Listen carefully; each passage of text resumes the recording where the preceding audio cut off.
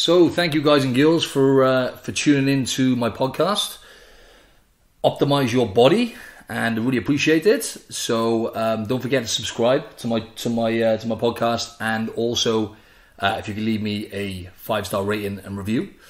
Should have said that at the end, but that's all good. Anyway, first and foremost, I have my uh, my special guest on the uh, the show tonight, and uh, it's my friend Sean McInroy. Uh, it goes by the name of Apex Strength Society on uh, at Apex Strength Society on Instagram, and he's a personal trainer at the gym I work at, and I also live with him for four months. So we've got some funny stories to tell and some some interesting stuff, obviously fitness and and health related. So uh, how you doing today, mate? I'm good. I'm good. Thank you for having me on the show. No problem, no problem. So yeah, Sean is um, he's a very good trainer, and that's why he's on the he's on the show, and he he's very knowledgeable and um, this is why I wanted to kind of pick his brains, if you like, and get an insight into the kind of stuff he does. So um, yeah, what motivated you? One of the first questions I wanted to ask was um, like, what motivated you to to become a personal trainer um, and, and get into you know kind of step foot into the fitness industry? Um, well, look, I'm 28 now. I started started lifting weights when I was 13. Um, I think it was just a natural progression, you know. And all through high school, lifting weights, enjoying it. I was always naturally strong, so it was something I was good at. You know, you tend to gravitate towards things you're good at. Um, lifting weights it was something I was good at, as simple as it may sound. Um, I left school, didn't really have much, I suppose, direction. Didn't really know what I wanted to do with myself. Um, I wasn't a, I wasn't a dummy, um, but I didn't, didn't know what I wanted to do in terms of uh, university degrees or anything like that. So um, just got a job. Shortly after that, started doing my PT course because I wanted to do something a bit um, more with my life. Um, a few job opportunities came my way, which put the personal training on the back burner. Mm-hmm. From that, um, uh, opportunities at that at that job sort of fell away, and, and personal training became a bit more of a uh, bit more of an option time wise.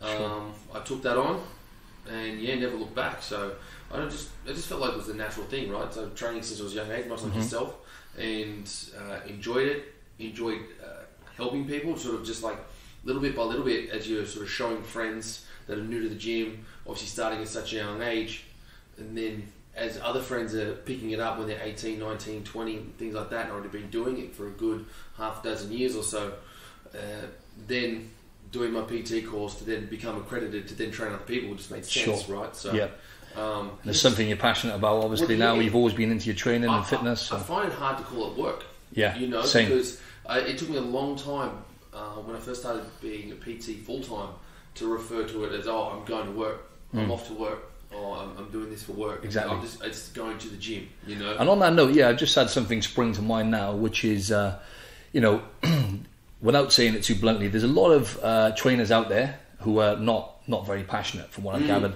Um, actually, the gym we're based in is really good. I find the trainers there, are, you know, most of them are really passionate, and there's a good vibe there. But I find a lot of people come into into it as a personal trainer for the wrong reasons, you know, for the money, and I, and I think they kind of are going to end up disappointed because, as you said, it feels the same for me now. You know, I'm extremely passionate about it, and uh, it's something I really enjoy doing. And also, actually, I started lifting weights. Um, I think about the age of 15, so a young age. So, and I've always played sports like yourself. Used to play yeah, footy a and lot, lot of league, a lot of athletics, rugby league. Sorry, I'll say not a lot of a lot of um, a lot of different things. You know, probably much like yourself. Anyone Same. that's anyone that's uh, grows up playing a sport, they typically don't just do the one sport. They try to handle lots of different That's right. ones, right? Yeah, So, for sure. mm, Same, yeah. So I played rugby, you know, football, squash as I got a bit older, numerous different sports, and always been active, always been, you know, a sporty individual. And then, same as myself, I started lifting weights uh, at the age of about 15. Not quite as young as you, so that's your secret then, yeah. So I was gonna, I was gonna get to that. How the hell are you so much bigger? It's those two years, isn't it? years, years. Um, so yeah, so basically, I started lifting weights at 15 and never looked back. Really, um, really enjoyed it. Um, built muscle really fast because obviously, as you know, I don't know how you responded, but um, when I was like, I think for me it was like 16, 17, I really started stacking some muscle on at quite a fast rate. And obviously, when you're younger, I guess your testosterone levels are a bit higher. And then uh, 19, 20, uh, I actually done my first uh, level two fitness instructor qualification. Uh, by the age of about 20, I was a qualified PT, so I've been doing it for like um, over 10 years now. but uh, yeah, we both love it. So that's a good thing about it, isn't it? Pas- passion and and uh, obviously we're both confident with our message and what we know, and confidence. I think you've got to be right. Like key, you yeah. said, a lot of people aren't necessarily passionate. They come into it for the wrong reasons, for sure. and they're going to be bitterly disappointed. I think, like any business, Mm. if you go into any business, uh, any venture, not passionate about it and seeking more um, a financial gain Mm-hmm. rather than a, uh, a- service or purpose or, or relative to what it is you're, you're trying to do, That's exactly right. you- you're going to get found out pretty quick. You Exactly. may you may do okay, uh, like a lot of PTs we see, kind of Yeah. like flounder around and, and, Yeah. and do okay. But in order But- to excel and really Yeah. gain and really give value, isn't it? That's, the most important right. thing, I isn't it? was just about to say to to the to the client, to the person um, that is sort of paying for your service. If Sure. there's no passion there, or there is passion there, it's very easily detectable. Yeah, definitely. That's why you see the people that are passionate, like you and myself, are busier than those that aren't. That's right. People are, and you mentioned confidence. People are attracted to those qualities. That's right. right, So exactly. you, if you go to see anyone for any service, Yeah. you might see them once. You know, you give them a give them a go. But if they they don't really seem into it, Yeah, then that's right. well, why would you go back? Exactly, You know? and that's So- one one of the key things, isn't it? Is you know practicing what you preach, Mm. essentially, and you know looking at the kind of training you do and, and the knowledge you have. Um, I think you know it, it. Obviously, you know your stuff, which which goes a long way. Mm-hmm. Um, but on the note of uh, you know what kind of you know, basically you need to be, like I said, practicing what you preach. Being in shape helps a lot. Uh, you know, when you're being a trainer, obviously when, when you're a trainer, people look at you. You know, Mm. you you, sh- you need to look healthy, at least relatively healthy. You know, but um, in terms of the type of training you do, because I mean, we both manage to you know maintain a good physique all year round. You know, Mm-hmm. uh, we're not really kind of on or off really like you Mm. get a lot of people do, and you see their uh, weight fluctuating quite a lot. Yeah. You know, um, but yeah, I noticed with yourself, you're in shape. You know, all year round, and you've got a lot of muscle mass, and you stay you stay lean as well. Um, Mm-hmm. I what mean, kind of training? that. You've got me on that one. I've got you on that one. I got you on that You one. are tired He's, of he's it. blushing now. You can't really see this, but you know, what kind of? I've noticed you do um, Mm-hmm. a mixture of things, but primarily what I like about you and the things you do is uh, in the gym is the technique, and you, Mm-hmm. you're very honed in on. Um, you know, lifting weights with good technique and doing it properly, Yeah. um, as opposed to just lifting with your ego. Yeah. On another note, I saw you. I saw you pull in like 250 kilos, which Mm-hmm. in pounds, I don't know, like 550, 600 pounds the other day for a few reps, right? Mhm. Yeah, well, that was So what's your secret? not to not to sort of big up myself, but that was that was lighter than what I definitely can do. Um, just put it out there. That was a bit demoralising. Yeah. well, what's the secret? Well, look, put it this way: genetics plays a huge role. Mm-hmm. Like I've recently started training my mum, and she's 58 years old, and put it this way: the first time she deadlift, she'd had a little bit of resistance training experience, like like just a little basic stuff. Um, never any real barbell movements. Certainly no deadlifts.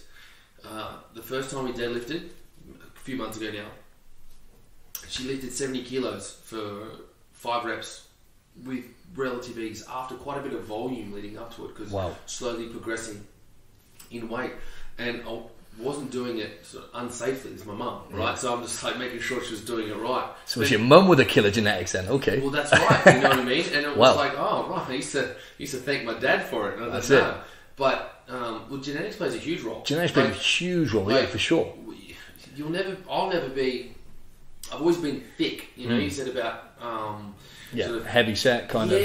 Yeah, you yeah, know, yeah. Like even when I was a kid, if I was Dense. when I was young, yeah, I was always a big kid. Yeah, that's right. Um, and so, like I said, when I when I hit hit sort of um, that uh, early teen years and started Yeah. to, to lift some weights, I responded well Mm. to resistance training. That's right. Um, and like anything, especially as a kid, you tend to gravitate towards things that you're good at. Mm. So I was good at lifting weights. I enjoyed it. I found a response. I was training with my cousin and his friends who were a few years older. I was keeping up, if not bettering them, in a lot of things. So I was like, well, um, this is this is um, this is something I'm, I'm good at. You know, this is something I'm excelling at. Um, so when you talk about sort of lifting heavy weights and, and things like that, or, or lifting with your ego rather, Yeah, for sure. it's something I used to do. Yeah, you you, see that you quite don't a lot. start as a 13 year old uh, in the gym lifting with your 16 year old cousin and, and, and friends of the same age.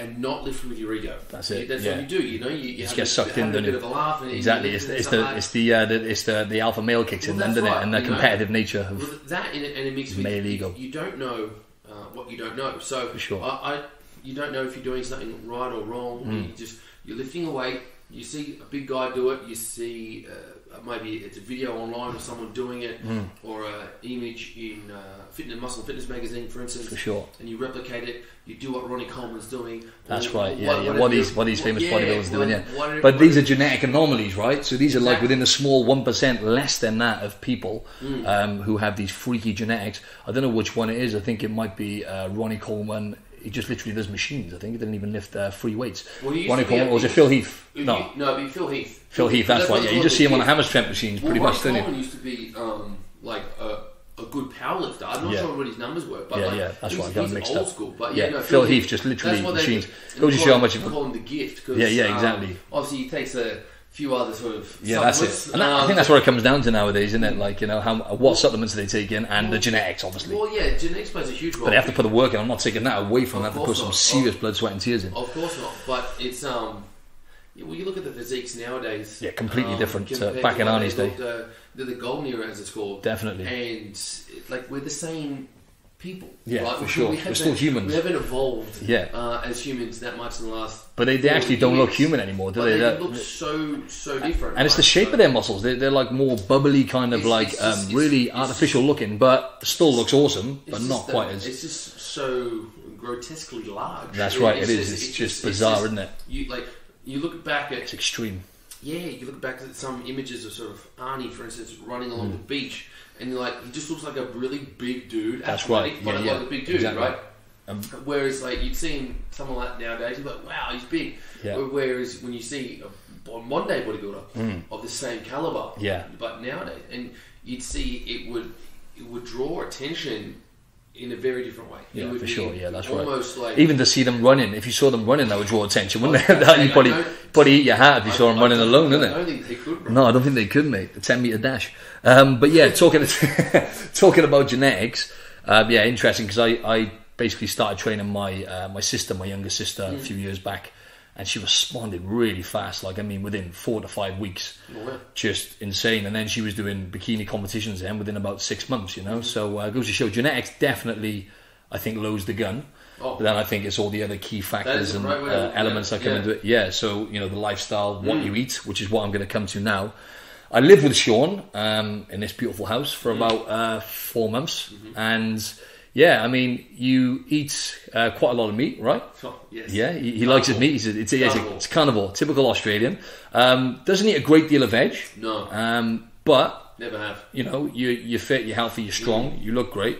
Um, so it goes to show that obviously I'm a big advocate on how important veg is, how it makes me feel, Oh. but everyone's completely different and you- you're in tune with your body. I'm, I'm no. I'm and you no don't eat a great deal of veg, do you? No, I'm no fool. Like I know vegetables are good, but it's just one of those things that Sweet um, potato you eat mine, don't you? so at least you oh, get a something. lot. A lot of Oh, sweet potato. lot a lot of avocado. Avocado, he likes an avocado as well. only thing green I eat, but it looks, it's just one of those things. Even as a kid growing up, I was so I don't know, just so against eating vegetables.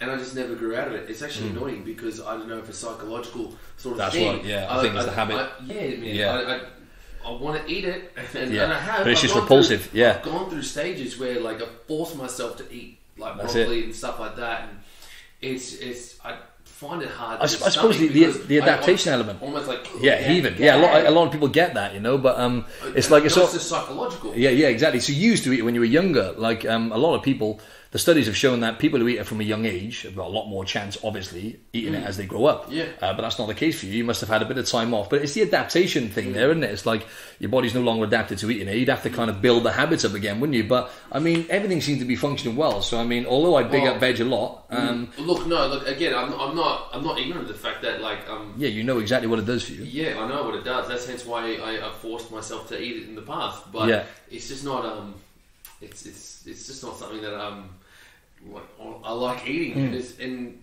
like you said, I, I've I've come to where I am now at nearly 30 years of age and survived quite well without it. So Exactly. um, I don't eat.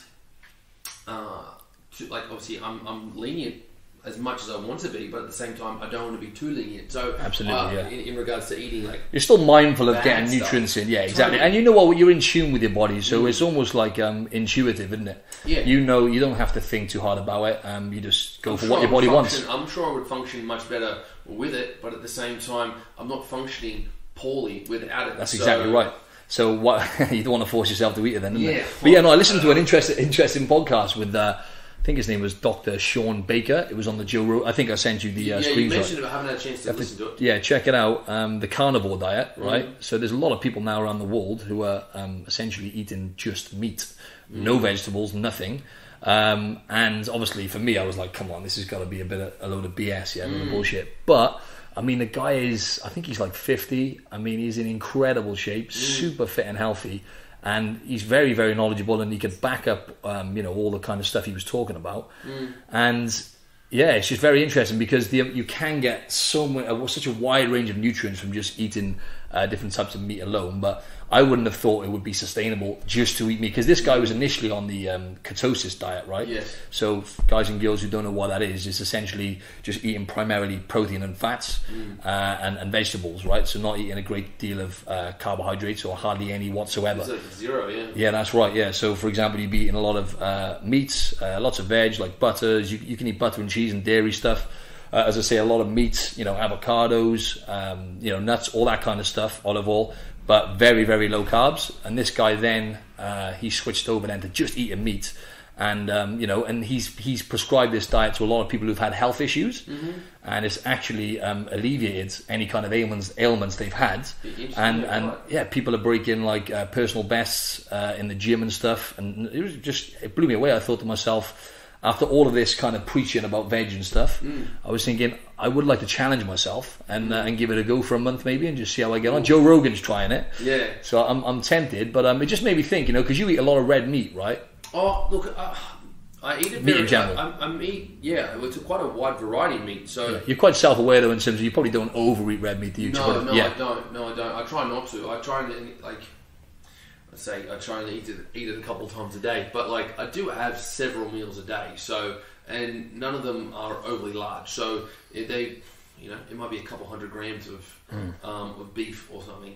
So depending on my day, or depending on what I have available or Yeah. what's cooked and things like that, I I might have a couple red meat dishes a day. Hmm. Um, there might be a few days off, for instance, or th- something like that. So, um, but yeah, I, I definitely understand that things like like fish or, or uh, white meat is much more easily digestible. Yeah, um, for sure. Something like red meat, so I try not to have that too much. Or Yeah, but then at the, at the same time, though, let's let's not let's not. Yeah, that, that's totally. I totally agree with that. But the, the guy was saying as well. I mean, um, there's a lot to be said as far as it. You know, people say it takes uh, red meat can take years to go through your gut and, and so on and so forth. It's debatable um, Yeah, at I- most. I- but I- there's so many. Let's look at the wide range of minerals and, and micronutrients that you get from red meat uh, alone. You know, B12, magnesium, all the rest of it. There's a long list. And not to mention the type of fats as well. So you get you get saturated fat, but if you get you know good quality grass fed beef, I think the majority of it is actually monounsaturated fat anyway, which helps you break down the micronutrients and Yeah. stuff. So it's interesting. I mean, that What the Health, I think you watched that What the Health, uh, Yeah. so then a podcast on that. Yeah, that was that. Yeah, it's Bigging up very- the vegan things, diet. Things like that, they're very one-sided. So That's exactly right. you to take like, anything like that with a pinch of salt, right? Definitely. Yeah. And that's it. And they were just saying about um, in, in Hong Kong, for example, the people who have the longest life expectancy on the planet live in Hong Kong, and they eat around about forty percent more meat than the Americans. Uh, Is, and, that, is and that fish though? No, this is red. So this is red meat. Sorry, not meat. This Oh. is this is red meat. Wow, yeah, okay. forty percent. Yeah, and they're finding now that actually the people who who live the longest. Uh, the majority of them do have red meat on a regular basis. So Yeah. it's because of all the, the stuff, all the kind of a lot of false information essentially that we've been bombarded with Mm. in terms of red meat causing uh, causing cancer, heart disease, and all the rest of it. Yeah. But refined sugar has a lot to answer for, doesn't it? Mm. You know, because uh, I was going to come to the fact that um, try and get your take on the because you obviously witnessed it yourself, being a trainer and stuff like that. Um, you know, we're living in an age now where it's actually an epidemic Mm-hmm. uh, in terms of chronic illnesses. Uh, diabetes, I think I mentioned this on my last podcast, but about uh, one third of America now has, uh, I think Australia and the UK are not too far behind, but one third of America now has diabetes Mm-hmm. or uh, pre diabetes that's like 100 million Americans, and Yeah, um, yeah. yeah, it's, it's, it's, it's quite a it's quite a compelling compelling topic. But then we don't seem to get told with these studies. We don't seem to get the uh, get informed on the fact that you know a lot of these people who they've done tests on who eat a lot of red meat also don't generally look after themselves. You know, they're, they're finding now the studies they've done. Well, yeah, that's the thing, right? They'll, they'll often come out with studies and, and stats and figures um, to represent one thing, like you said about these diabetes and, and, and issues with sugar, uh, and, and, sort of and coincided with with people that eat red meat. Well, also vice versa. Sorry, there'll issues with uh, red meat, and they're not taking into account the people um, that, that are affected are also over consuming so many other things. Yeah, exactly. like- Not getting enough sleep, sedentary yeah, job, all of these things, all of these factors. right. Yeah, it's, it's hard. It's hard to get clean studies in regards to how one food like that, um, the type of food being red meat, and how that like individually affects people. Mm. That's because it's like when people eat a meal of of a steak. Um, steak, veg, and some potato, for instance. Mm. yeah. And people are like, oh, I don't eat white potato because it's high GI and things Yeah. like that. And it's like, well, yeah, but it's, that's high GI, but the, the steak is really low. Hmm. And then you've got some fibrous vegetables over there. You're consuming that whole meal in one go. That's so right. it's it's it- it's being broken down together. so you exactly. can't look at an individual um, food source Yeah. when it's been eaten with many others Exactly. and and and go, oh yeah, but that, that white potato is bad. So Yeah. It's like yeah, but you're having a nice like grass fed Exactly. um, cut of beef and, That's and right. some some uh, roasted sort of uh, you know, vegetables, cauliflower, and broccoli, carrots, it's, it's a like nutrient dense meal, isn't it? Exactly right. Yeah. And but Not having fries, like for example, a lot of these people, most likely, you know, um, having fries or having, you know, like fries which have been obviously fried in vegetable, Mm. trans fats, and then they're having all these different sauces and whatnot they're adding to the meal. Uh, not to mention the fact they probably, you know, they could drink alcohol on a regular basis. Like I said earlier, a lot of them have got a sedentary lifestyle where they've got office jobs, they're not exercising enough. All these factors come into it. So the bottom line is, I think meat. I mean. Um, the other studies the guy was mentioning is that like vegetarians or vegans um, or meat eaters, and this is people who eat red meat um, regular now. Um, there's no difference in life expectancy really. It was around about around about the same. There was no difference like the the, the study. Sh- uh, I think it was actually done in Australia. This study, it was like seven and a half thousand people. Maybe that was another study. Don't quote me on that because um, these, these these people are dead. Yeah, so um, that would have been a tough one. I know you read a lot of stuff, so just, just mashing studies. Together. I know. I'm just mixing them up now. I'm just I'm just basically just go freestyling it. here. Just go with it. That's They- it. People won't know. I just, I just like the word studies. It make, makes me sound really intellectual, you know. Studies, and, you know, anything you just back up any claim you want to make with That's it. exactly well, it. Studies proven. It's, oh right. But yeah, no. Anyway, so yeah, they found that there's no difference in, in life expectancy and lifespan of people, you know, vegans, vegetarians, uh, or people who eat red meat on a regular basis.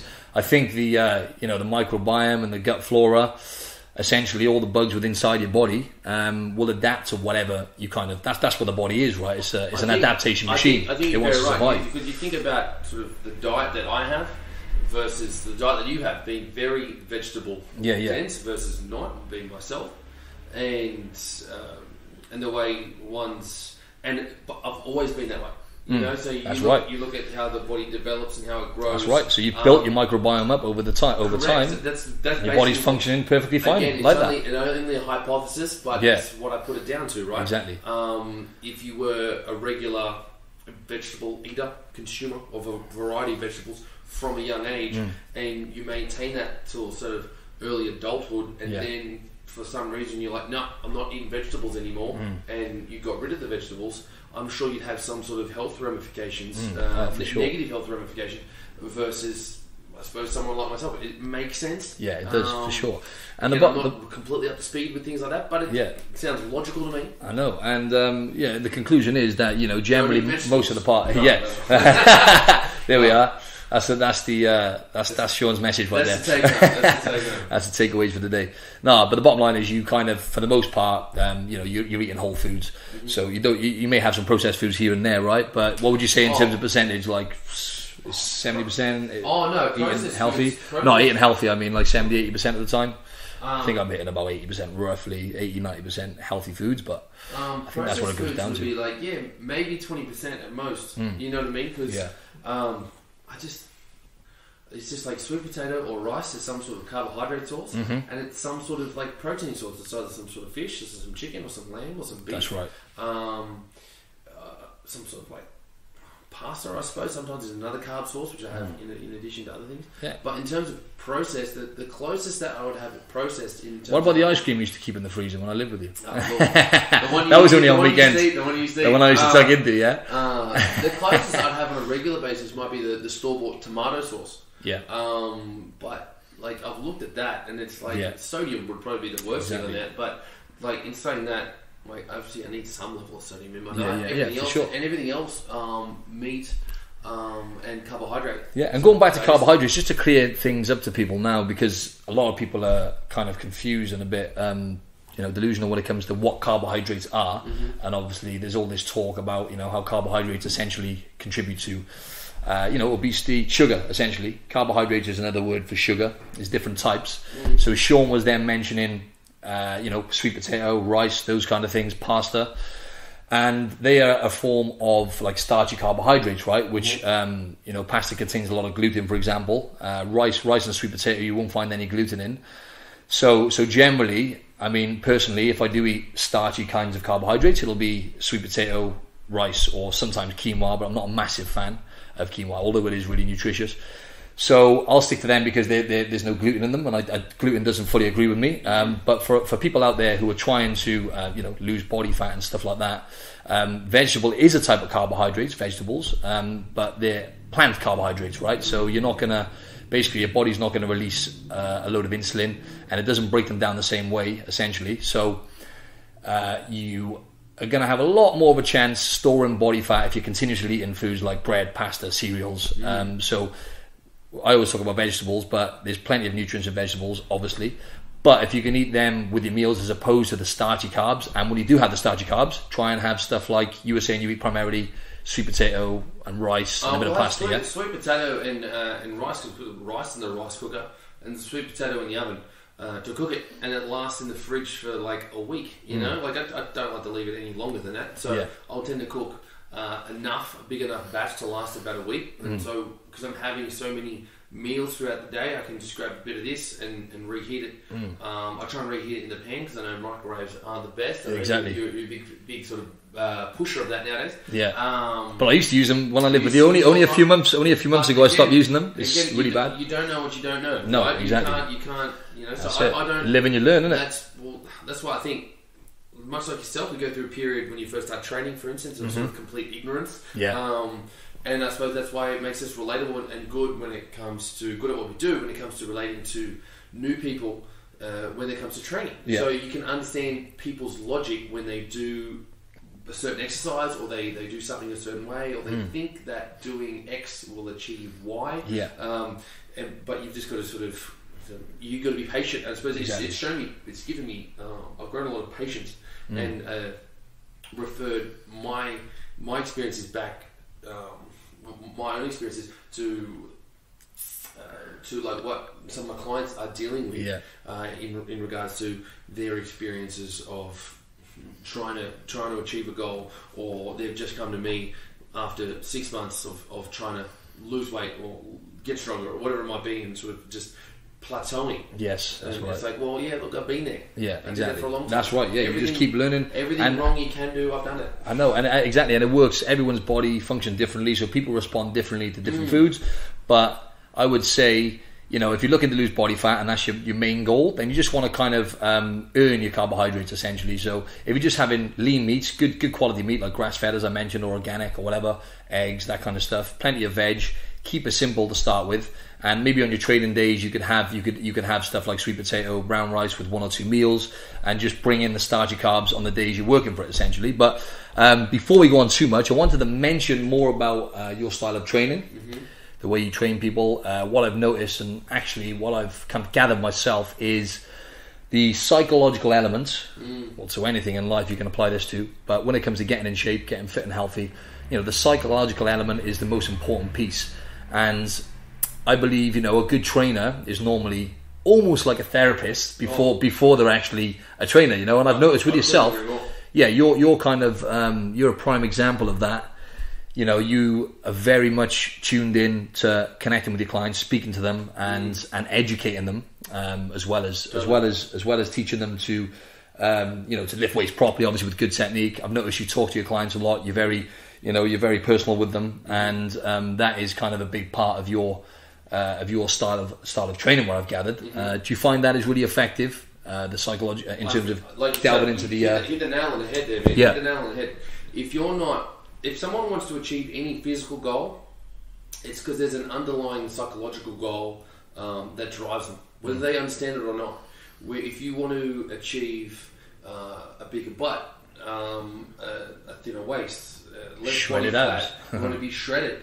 Uh, it, it's because there's some sort of not good bad like, it doesn't have to be good or bad, but there's some sort of psychological driver um, that is pushing you to achieve that physical goal. insecurities. Basically, that's what it comes down to. It We've, all, we've got, and going back to how, why we started training, you know, a lot of it is stem from insecurities. Yeah. Go on. Sorry. And, and the more you do, um, the, the more you train into you said like what you, why you start. The it may not start as an insecurity um, necessarily, but there is an element of that for sure Hmm. because you want to be perceived as um, someone who's typically maybe more attractive Yes. than, than, than how you perceive yourself now. Yeah. So for my job, obviously my psyche self, and why I put so much emphasis on and getting into someone's head, boring into someone's head, uh, is to establish why it is they want to achieve what it is they want to achieve. Right.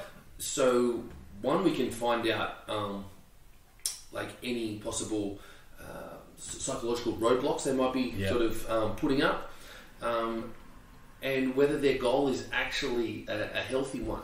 So we, I want to make sure that a young female, for instance, doesn't want to be thin and look a certain way Hmm. because she's got these really negative views on how she looks. Because most of the time, people they're It's, like you said, it's perception, isn't it? Sorry to cut you Yeah, off there. It's, you know I mean? it's, it's, it's the, the body image, isn't it? So it's your own perception and uh, these these deep rooted kind of um, thoughts you have about yourself and how you look and your appearance. A lot of a lot of the time, it's not it's not what other people see, and it's an internal thing, right? So, like you said, then that is one thing I've really uh, focused on now is establishing why they want to get in shape. You know, is it the why is a very very important question, isn't? You know. Well, a lot of the time, a lot, mo- yeah. Unfortunately, a lot of the time, if not most of the time, I've come to the realization. I came to it pretty quick when I first started PT. I'm sure you did the same thing. You, you go into the industry bright-eyed, thinking you're gonna you're gonna change everyone's life that you come across. Yeah. But at the end of the day, it comes down to them Yes, and whether they're willing uh, to change and make those changes to you know, create the result they want. But if you're not addressing someone's why, like you said, Yep. you're addressing the psychological issues or, or attachments or the reasoning as to why they want to achieve whatever physical goal they, they're setting out to achieve, then you're you're never actually going to get there. Mm. Right? You may actually get there. I'll strike that. You may actually get there. So if you're a slightly overweight female and you want to get down to a certain size, they'll show you an image of I want to look like this person. Oh, okay, Yeah. great. You get there physically because you do the diet, you do the training, and you get there. How do you But- sustain it? but how That's do you sustain it? That's the most important it? thing, but, isn't it? But if you don't address the the reasons as to why uh, that individual wanted to achieve that goal Chasing in the the first tail, place, yeah. um, you'll actually they'll, never they'll, they'll get there to the physical representation. They won't be satisfied. Yeah, you never are. And, I always have this conversation. Imagine how disheartening that's going to be for the know, individual when exactly. they actually achieve the physical representation of what they wanted. That's it. But they're they not still happy they still got the same perception. They've they're- still got They're that. not happy because body image issue, essentially. Exactly right. So uh, rather than because mo- most of your clients, like my my own, you get get to see once a week. Yes. Right? You, you, you know, personal training um, prices be what they be what they are. Yeah. Um, and the people that sort of there's only so many hours in the week we can right. we can train people. So you can see someone for an hour a week. If you simply just instruct someone for Yeah. an hour and, and take them through um, exercises, which they could probably do themselves, then one, it's not good for business because they're not going to stick around too long because they're not learning shit and they're not going to do it by themselves. Mm. That's right. But at the same time, you're not getting deeper into their head to affect every other hour of the day and every Mm. Yeah. other day of the week. Yeah. So they make the right choices when it comes to food. That's I know, right. I know you, you're big on that as well. Yeah. Um, and, and affect all their training and their uh, their reasoning as to why they're so focused on their eating and their training and things That's like right. that. Yeah. Because if I'm not if I'm not at least trying to tap into the reasons as to why they're trying to achieve whatever goal they're trying to achieve, I'm not doing my job. That's right, and it's a never-ending road then, because you get Yeah. you get to the point then. Like I've been there myself, and this is kind of one of the main uh, kind of drivers behind me starting up this podcast is I managed to get to a place now similar to yourself where you know you're focused on how you feel more than anything. So you're tuned into your energy levels, you know, all this kind of stuff, and how you feel in your performance in the gym, and all the different markers as to whether or not you know you're healthy. And what happens then is you know the physique kind of comes. Uh, as, a, as a side effect, then right, and that's the that's the pl- place I got to now. But I was always one of those people after being, you know, um, a competitor for so many years and stuff, a fitness uh, model competitor, bodybuilder, whatever you want to call it. You know, I was always chasing when I was not competing. I was always chasing that physique. You know, I wanted to try and maintain this physique. You know, looking at my abs every one minute. Now it's like every ten minutes. Um, but um, so yeah, so and it was a never-ending road, and I was never satisfied. And even you know, even when I kind of got really lean and aesthetic and proportionate, it was still never enough. Yeah. When you get, the, it's it's very hard, and it sounds a bit like woo woo, but uh, it takes some time. You know, Rome wasn't built in a day; it doesn't happen overnight. But if you just trust the process and you've got a good trainer like Sean or myself, and you're on your own fitness journey now, then just focus on, like Sean said, set a bit of self discipline.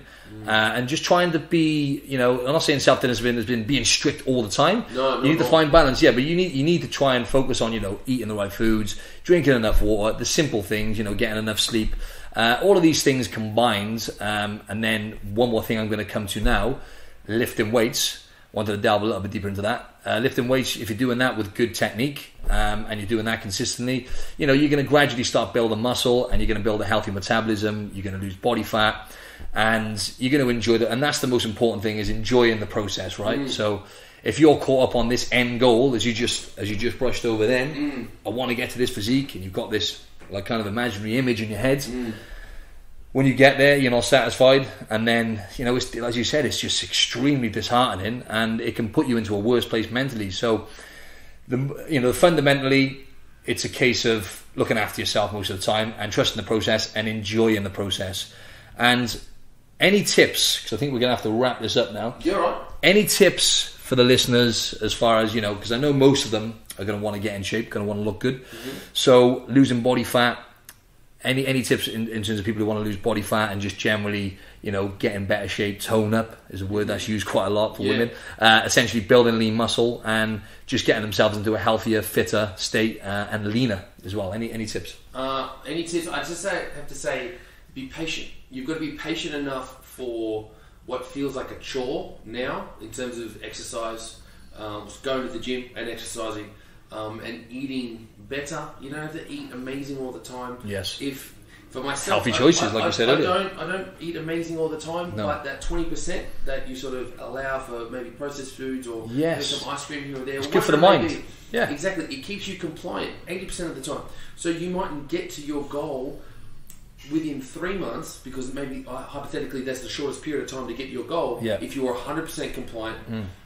But it takes you four months, you know, four and a half months instead of three. But you're guaranteed to get there. Whereas that three month period, mm, you, you might you might actually get there. That's right. Then then give yourself a bit of leniency. Give yourself, you yeah, know? that's right. But just as I said, be patient. Be patient enough for what feels like a chore with your with your food, with your training, with in every aspect of your um, that affects your goal Hmm. um, to achieve your goal. Sorry, it, allow allow time for those chores to become habits. Once they become habits, they no longer become chores. It's just what you Sure, do. sure. Um, as long as you have the right guidance, you. That's it's, right. it's hard. Like I said, it's hard. You don't know what you don't know. It's hard That's to right. establish whether you're doing the right thing or doing the wrong thing. Exactly. And I hate seeing people, and and I don't say hate it because uh, it's unfortunate. I feel bad for them. People that dedicate enough time to training, you see them in the gym every day, And they're not week, getting the results and they're not getting the result, but they're trying. You can see they're trying hard because they're just they just don't know what they're doing. That's so, right. um, and as a PT, I, am trying to run a business, so That's I right. can only give out so many free sessions trying to help people. Exactly. Um, you know, you try and do your best, and wi- without trying to come across too selly to, for, for, to sort of sell your services, because there's only so many hours in the week, and like I Hmm. said, you've got to run a business. Uh, but I'm sorry. Sorry, sorry to um, yeah, go for it. cut you off there. Uh, exercises, because what I was going to come to then is a lot of people. You can normally spot this in the gym, right? Um, you know when you see people doing like a leg press on a, on an assisted pull-up machine and tying bands to machines and sit. Yeah. All right. Okay. So you need to get the fundamental uh, exercises in place. You know the really important exercises that will get you bang for your buck, right? So learning how to do things like squats and deadlifts, right, Sean? so the, the the you know the traditional lifts, king and queen is the way I look at it. Squats and deadlifts. I know you do a lot of that kind of training, compound lifts. You know, doing stuff which gets maximum results and yields you the most benefits, really. Yeah. So, any tips as far as exercises go? Would you would you what's your top? Let me just say, what's your top say four or five exercises when it comes to lifting weights? Um, well, obviously squatting and deadlifting, like you said, king and queen, um, and sort of. Well, I, I look at I look at more movement patterns, you know. So we're, we're looking at um, a knee dominant movement, so you squat, and then your hip dominant being a deadlift. Yep. Um, your horizontal push and pull being sort of a, a bench press and a, a bent over barbell row, Yeah. and then your vertical push and pull being, um, uh, say, a standing barbell press, um, a strict press, I suppose you call it, and uh, pull up or a chin Yeah. up. So you're working all main, all four main upper body movement patterns, Mhm. horizontal movements and vertical movements. That's right. Push And and pull. then, and then your knee dominant and your, your hip dominant movements Yes. in, in your legs. So multi joint multi joint movements essentially, where you're recruiting a wider range of muscles. And typically everything uh, is a derivative of one of those. So it's it's either you know it's a squat or a deadlift or it's a similar. that's right. It's like a lunge. A lunge is a really good exercise. Essentially, it's a squat. Yeah, it's a, it's a, it's a variation of A that. variation, It's- yeah. It stems from that. So That's right. Mm. um, they're in the same sort of family. You categorize them together. Um, the same with like a, a dumbbell chest press, um, a flat dumbbell press, and uh, a, a bench press, and you know a, a barbell There row or a, um, a one arm row or a seated cable row and That's things it. like that. They're all the same. So, so we're talking good, good old fashioned, you know, uh, free weights, barbells, Mm. dumbbells, and you know, going back to basics essentially because um, you find a lot of people just get caught up. You know, I understand it. There's a lot of information out there, especially when you go on social media, Instagram, YouTube, whatnot. There's a lot of great information out there. Mm. There's also a lot of crappy Well, information that's out there, exactly right? right. And the, unfortunately, a lot of the crappy information is wrapped up in really well presented ways, Mm. whi- which looks like uh, it comes from. Uh, a place of authority. You That's know, right, I, yeah. I'll see. I've seen. Insta I'm famous. Sure. Well, I've seen. No, it's not. Yeah, I've seen a lot of people. Um, a lot of posts from a, a variety of sources Hmm. about uh, you see some videos on, on Instagram, for instance, saying how to do this thing, like how, how to do this movement or how to do this movement. This is right, this is wrong, for instance. And it's the the one that is um, the one that's uh, performed correctly is still incorrect. Um, so whoever whoever it is that's uh, putting this together um, doesn't actually know what they're doing. That's right, and on But that because, topic- because their video looks nice and polished and it's well presented. Yes, that's it. um, It draws are people like, in. Oh, and this guy's got hundred thousand followers. and, and that's and what it is. Another like, thing is oh, this, yeah, and that's it. And it's very clever what they do. A lot of Insta famous people or people with a massive uh, following, you know, uh, the human nature, you know, novelty. It's Of it's, it's part of human nature. So we'll see something new. It looks fancy. It draws people in, especially women who want to tone their muscles. Right? They don't want to build them. They want people, to tone them. people, people get sucked into that because there's That's always right. someone willing to take advantage of people's ignorance. That's right, yeah. So it looks fancy, it draws people in, but the bottom line is stick to the basics squats, deadlifts, bench press, overhead press. Learn how to do them technically correct, and and you're on to uh, you're on the right tracks. And on that note, one more thing: yoga and mobility. Now I know Sean's routine, right? I used to live with him. He used to get up. He has clients at 5 a.m. He would get up at like 4 a.m. or whatever. He would do about 20 minutes of yoga. You still do that in the mornings? Well, yeah. Now I wake up at quarter to four. Quarter to four. Um, There we go. This guy's hardcore. and, He'll have the I foam try- roll out. He'll be try and get in about thirty minutes, twenty to thirty minutes. It's all, it's all. It is first thing in the morning, so Yeah. I'm, I'm understanding of that. I'll have a shower first. I'll let that sort of process wake me up. Then get the foam roller out, rubber roller on my back. Um, a lot of spinal rotation stuff, uh, a lot of down dog, things like that to get the shoulders working. And yeah, just whatever I feel I need, um, Yeah. either for the day, um, depending on what I'm I'm going to do, or more based on how I feel from the, the previous day's workout. If I did some deadlifting the, the day before, chances are my back's going to be a little bit tight, the muscle's going to be a little bit more stiff, so there's probably a bit more spinal rotation stuff. Um, on the flip side of that, um, if I was doing some squatting, I might be doing more more quad, more hip flexor um, based stretching to sort of release uh, release that stuff. So I go about my day, like you said, from five in the morning, and I can perform stuff. Uh, demonstrating like properly. That's what that's what That's made right. me want to do with Yeah. the first. Oh, okay. I see what you mean. Yeah. Yeah. And because I know you went, you got a few tips from uh, yoga class as well, didn't you? Oh, a lot. Well, that's Which is- Like you said, it, that's where I've started It's yoga. Yeah, right? Exactly, and that- that's I, what- the stretches I perform in the morning are yoga stretches. So Yeah. it, it's just I've just collated them into my own um, little little sort of uh, Integrated them together, yeah, and just put your own stamp on it. Of, uh, of That's movements, right, Yeah. and that's that's what I've started doing recently is a lot more yoga consistently. So once or twice a week, I'll I aim to do a yoga class, and pretty much every day I'll do some form of uh, mobility, even if it's just 10, 15 minutes of priming before I train. And I've found it has definitely changed the game for me over the last say it's only been over the last uh, say eighteen months. I've really been uh, honing in on this kind of stuff and making it a priority. And um, I've built more muscle. Um, more importantly, I have much more energy. I feel much better. Um, my posture's improved a bit, uh, quite a lot actually, and I've noticed some huge benefits from it. So uh, I would highly recommend when it comes to lifting weights, especially doing squats and deadlifts, focus on mobility um, and correct yourself first. Because if you're going to find a trainer, find a trainer who's going to you know who's going to correct any imbalancements you have uh, and help build the, the weaker areas, which we find a lot of like the posterior chain, Oh, for example, the back muscles and glutes, bum muscles. back to front is just is so it's so out of whack, right? Everyone's, Exactly. Everyone's tight and short and weak on the backside, um, and the front side is just all. It's, it's not usually much better. That's right. Uh, but everything's sort of drawn forward. Exactly. This is a tight, internally rotated at the shoulder, That's tight it. chest, things like that. Exactly. And that, and that and that's that's something I've noticed. So uh, most of you out there who are listening to this are most probably going to be front dominant, and you most likely are going to have somewhere in the posterior chain, so the back muscles or the bum muscles, hamstrings, maybe are going to be underactive. So the back muscles is something I would try and focus on. Um, so so the posterior muscles, right? So stay tuned on that note. Tuned program, which is going to be coming out soon, my training program, and we're going to call it a day here. So. Sean, if you want to uh, reel off what your socials are, um, sorry, your social media platforms for the uh, audience. Oh, you can find me at uh, Apex Strength Society on Instagram. Um, I'm still working on a website at the moment, so just Instagram is uh, where Cool. I'm doing most of my sort of social exposure through. Yeah, On and I pick up a lot of stuff off your page, by the Oh, way, when it comes when it comes to your lifting, and I always try and focus. uh, So I always try and tune into, you know, the way you lift the weights because you, you're technically very, very, uh, very adept. So um, you're going to learn a lot. So go check him out at Apex Strength Society on Instagram, and stay tuned for my training programs, which will be coming out very soon. As I said at the start, don't forget to give me a rating and a review, please, on this podcast and subscribe. Check me out on Instagram at Martin Silva Fitness. And talking about vegetables, if you're struggling to get your veg in, then can you please use uh, my discount code? Uh, sorry, I'm going to re- I'm going to rephrase that.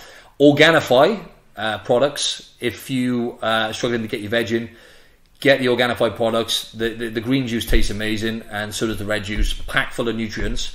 If you're really struggling to get the vegetables in, just like my man Sean here, um, and use code Martin Silva at the checkout for 15% off. And that's pretty much it. So thanks a lot, Sean. I really appreciate No your knowledge bombs, mate. Knowledge Oh, bombs galore. Happy to be on.